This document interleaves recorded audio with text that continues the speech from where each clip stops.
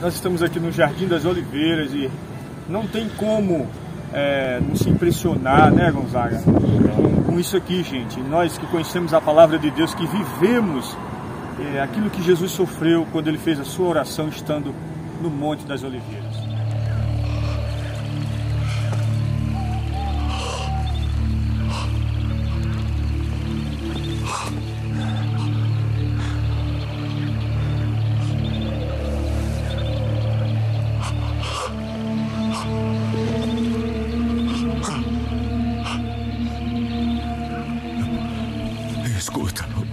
Dizer, pai. Ergue-te.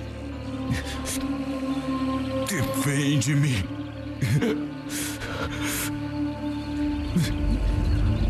Salva-me de todas as armadilhas que lançam sobre mim.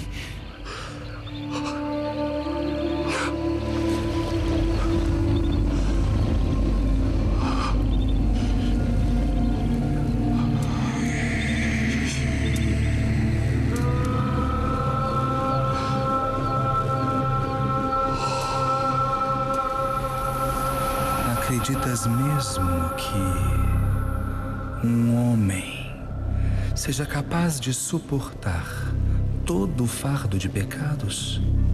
Abriga-me contra o mal, ó Senhor. Confio em ti. Tu és meu refúgio.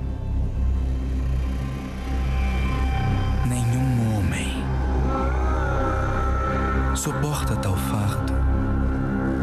Devo dizer, é pesado demais.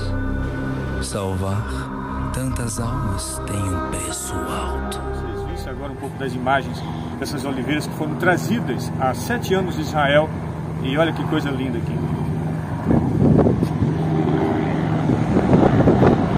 Vou filmar o pezinho.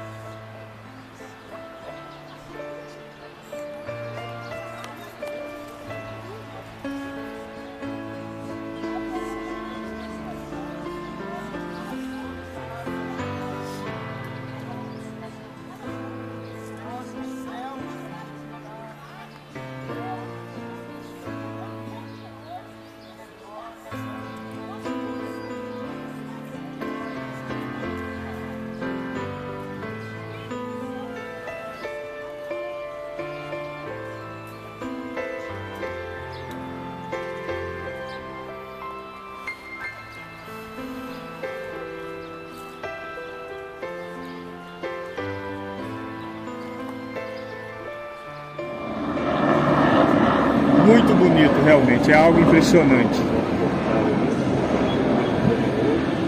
Todas essas pedras da fachada, as pedras também foram trazidas de Israel, gente.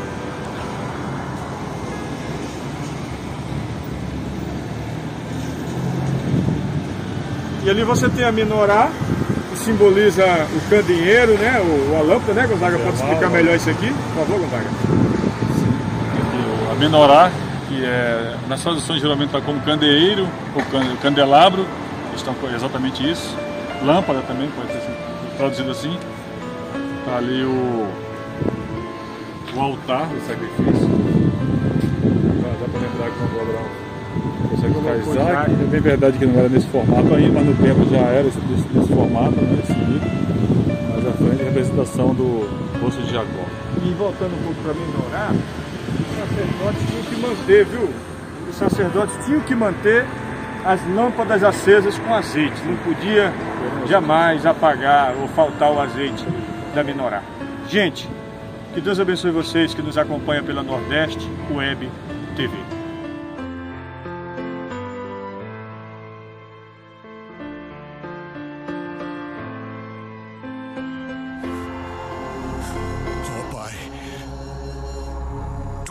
Te é possível.